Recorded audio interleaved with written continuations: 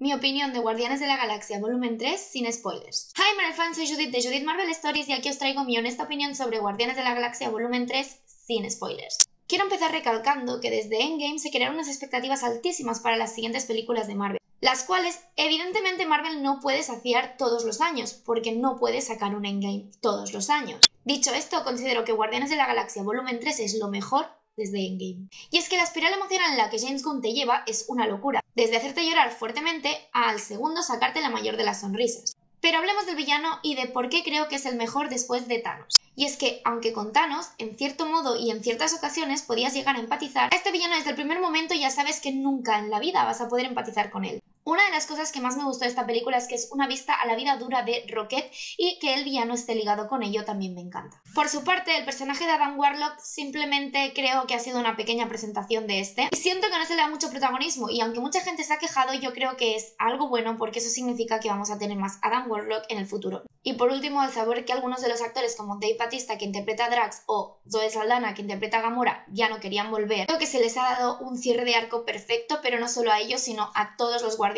ha sido el cierre perfecto de una trilogía. Y aunque, queridos Marvel fans, sabéis que yo soy muy fan de Capitán América, considero que la mejor trilogía de todas es la de Guardianes de la Galaxia. Ha sido un viaje increíble y todo ha sido gracias a James Gunn. Creo que James Gunn ha vuelto a demostrarle a Marvel cómo crear una película de calidad buena y que los fans adoren. Y creo que ha dejado el listón muy alto y se ha ido de fe diciéndole a Marvel, os dejo aquí el producto, ya sabéis cómo tenéis que hacerlo, no la volvéis a liar. Gracias James Gunn por este maravilloso viaje con los guardianes y vamos a echarte mucho de menos en Marvel.